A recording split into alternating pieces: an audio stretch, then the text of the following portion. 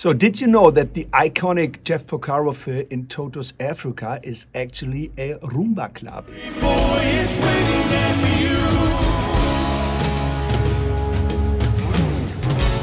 And this is how I fake my way through this fill on this kit.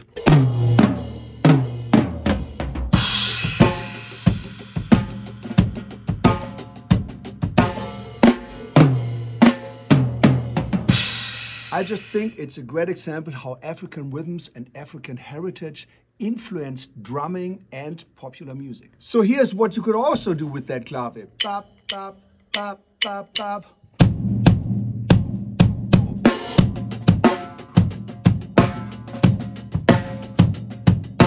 Or play it the other way around, two, three.